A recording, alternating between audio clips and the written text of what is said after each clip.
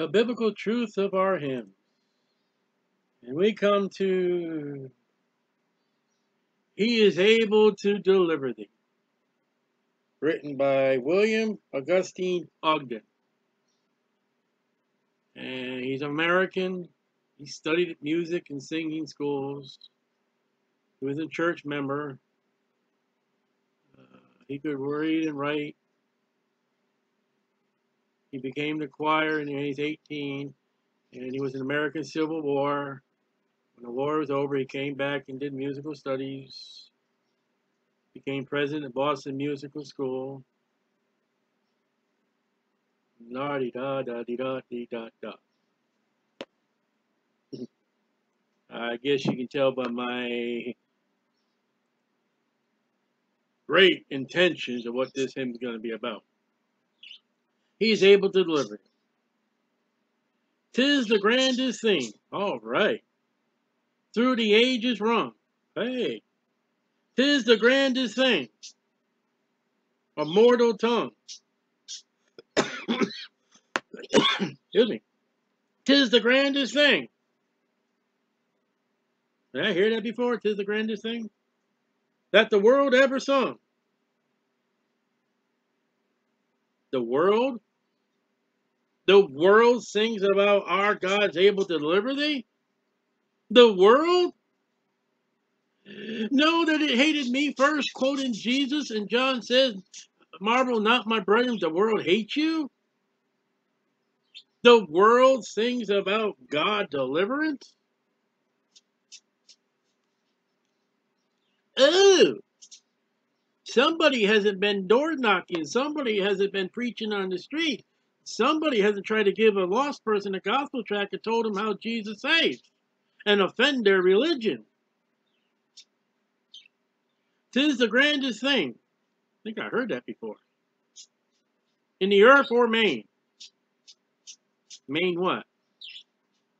In the earth or main. Well, if it had an E at the end, I would say the state of Maine, but tis the grandest thing. I think I've heard that before. For a mortal strain. Tis the grandest thing. I think I heard that before.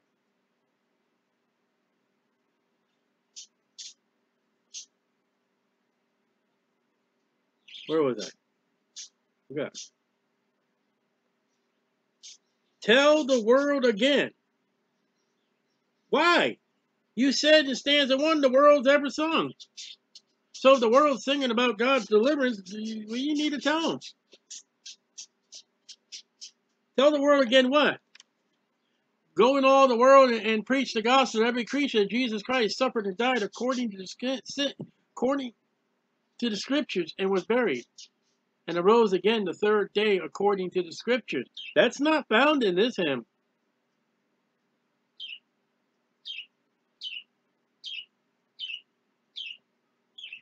Our God's able to deliver thee. Tis the grandest thing. I think I've heard that somewhere. Let the tidings roll. The good tidings is the gospel. Tidings is just news. Listen, gospel means good news. Tidings, that's just news. You can get tidings on TV and a newspaper. That's not news of good news. To the guilty heart, to the sinful soul. Look to God in faith. He will make thee whole. Our God is able to deliver thee. What about belief? Where's the gospel? What is this? Let's look at the, the, the chorus. He is able to deliver thee. He is able to deliver thee. I think I heard that.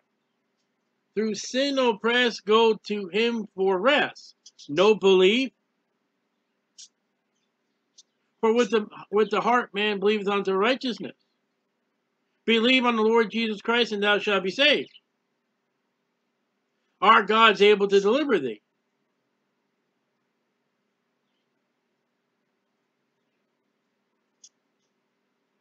I don't see the name of Jesus. I don't see Calvary.